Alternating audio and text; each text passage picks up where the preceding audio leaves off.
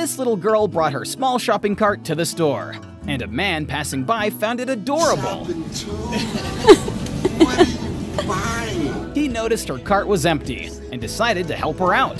He took out his wallet and gave her some money. I'm gonna help you with your shopping today. Aw, what do you say, Lily? The girl gratefully thanked him, and her parents were extremely grateful too. Yeah, yeah, that's the way. With the money, she bought herself a gallon of milk and her favorite cookies, making her day a little sweeter.